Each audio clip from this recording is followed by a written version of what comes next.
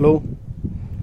दोस्तों, आप देख सकते हैं मैक्स ग्रो बायोटेक ने एक नया प्रोडक्ट लॉन्च किया था क्रॉप गार्ड करके मैक्स क्रॉप गार्ड करके।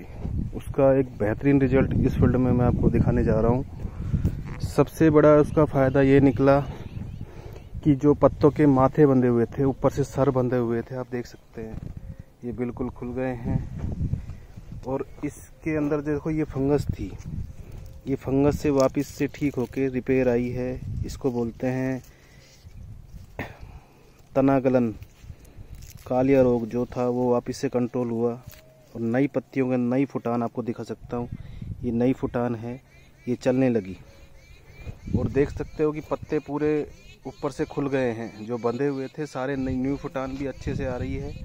और आपको दिखाता हूँ, इसका सबसे बड़ा रिज़ल्ट ये नए फूलों का आना। नई मिर्चियों का वापस से लग जाना। ये आप देख सकते हैं। ये देख सकते हैं।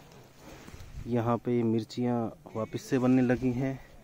और इसने फंगस को भी कंट्रोल किया है। मच्छर तो पौधे में देख सकते हैं। कहीं भी किसी भी तरह से किसी पौधे में कोई मच्छर नहीं है। मैं हिला के दिखा रहा हूँ। कहीं उड़ता हुआ दिखाई नहीं देगा। ये देखिए फूलों की संख्या। कितने फूल आने लगे हैं, जबकि क्रॉप गार्ड डरने से पहले फूल बिल्कुल नहीं थे। बहुत शानदार प्रोडक्ट है। कंपनी ने अच्छा प्रोडक्ट लॉन्च किया है।